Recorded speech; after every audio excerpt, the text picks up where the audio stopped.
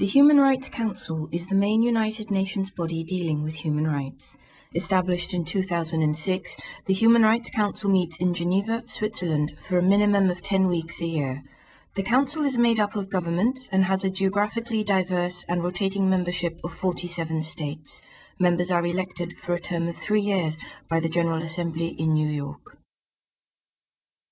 In September 2009, the Council met for its 12th regular session under the leadership of Ambassador Alex van Meeuwen of Belgium.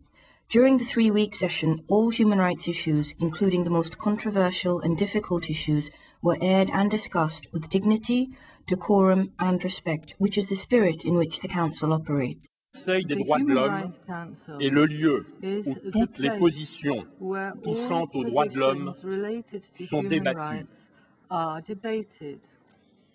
Néanmoins, de telles discussions, si elles peuvent être directes, franches, transparentes, doivent répondre à certaines exigences en termes de langage utilisé, de dignité et de respect. Increasingly, the Council is addressed at the highest level. Visiting dignitaries at this session included Her Royal Highness Princess Bajrakiti of Thailand and ministers from Sri Lanka and the United States of America. The High Commissioner for Human Rights, Navi Pillay, is the top United Nations official on human rights. As part of her leadership role, the High Commissioner engages with the Human Rights Council and provides regular updates on the work of her office in promoting and protecting all human rights and ensuring dignity and justice for all of us.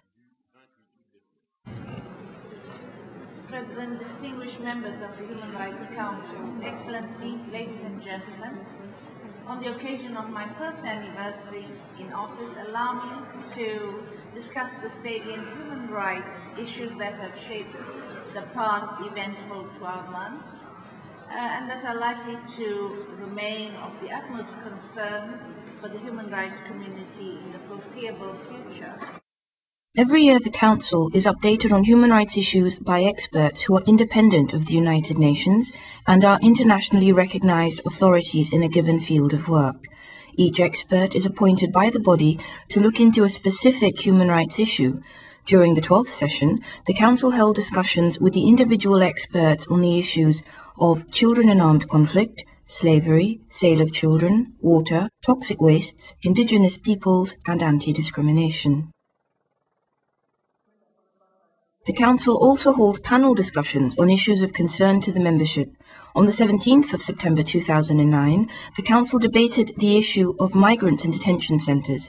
A second panel later in the session debated gender-related issues. In addition to the yearly regular sessions held each March, June and September, the Council can meet in an emergency session with the support of at least one-third of its membership. Among the outcomes of its ninth such emergency session was the establishment of an independent, international, fact-finding mission, which was requested by the Council to report back on its findings. The report of the mission was presented by Justice Richard Goldstone on 29 September 2009. Let me repeat before this Council what I have already stated on many occasions. We accepted this mission because we believe deeply in the rule of law, humanitarian law, human rights, and the principle that in armed conflict, civilians should be, to the greatest extent possible, protected from harm.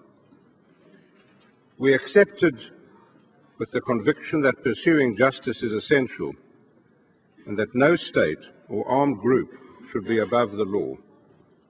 Failing to pursue justice for serious violations during any conflict will have deeply corrosive effects on international justice.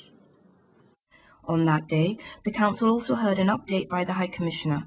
Following this, the Council held a debate in which the countries concerned, members of the Council, observer governments, and representatives of civil society all participated. By the end of its third week, and after intense diplomatic negotiations, the Council adopted some 47 decisions and resolutions, ranging from the elimination of discrimination by persons affected by leprosy, to freedom of opinion and expression, to access to medicine.